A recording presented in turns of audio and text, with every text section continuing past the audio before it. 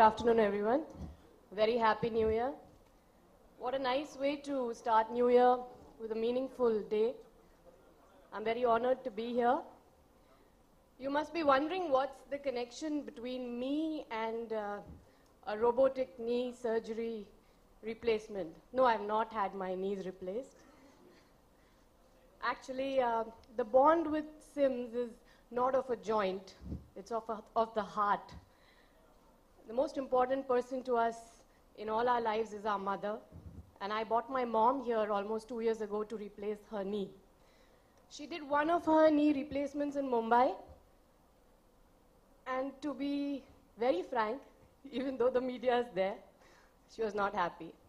So she decided to do the second one in Chennai. And um, when I got her here and we took her, we chose uh, SIMS Hospital, Dr. Surya Narayanan, Dr. Ashok, and uh, definitely the person who made it very smooth, Prema.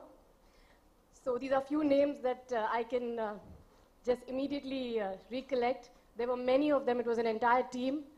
And um, it was the most beautiful experience. Why I'm saying this, why I'm genuinely saying this is that because um, everything about the hospital, it's not, I mean, every doctor knows the craft, every doctor knows how to replace a knee. But it's the special care, the care post-surgery, which matters the most. Um, small example of a very small, very small things which you know make a difference. One being the beds. As a child, whoever in family has been to the hospital, I have seen that you know when the surgery is over, like uh, or during surgery, they they put them on this uh, uh, cloth and then they're transferred to the operation theater, and then once the surgery is finished, they're put back on the cloth. But something about SIMS, I found it so updated. The beds, you know, when, when the patient has to be shifted from the surgery to the uh, surgical room, the bed would, you know, they didn't have to pick them up and put them, they would just, uh, the bed opened up, and, you know, they were just slid onto that, and especially post-surgery slid back. So everything, the minutest comfort was given to my mom.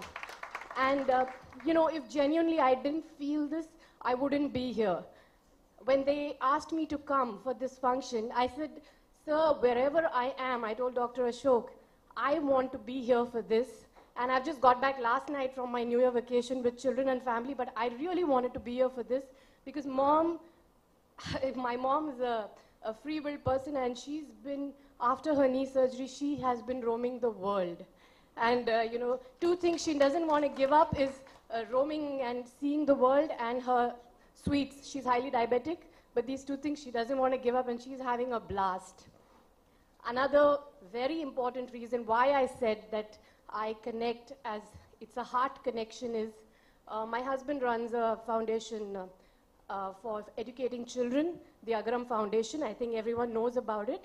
And um, SRM University has uh, given a free medical seat for Agaram Foundation and one of Agaram's first medical student passed out because courtesy to SRM and uh, he belonged to a refugee family, Sri Lankan refugee family, Nagaraj, and he has got uh, passed his medical seat uh, because of the free seat given. Thank you, sir. Thank you very much.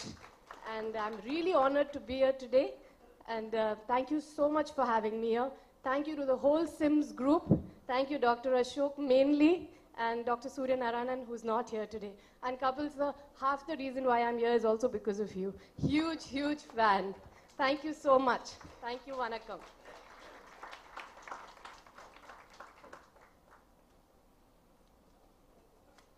Thank you, ma'am.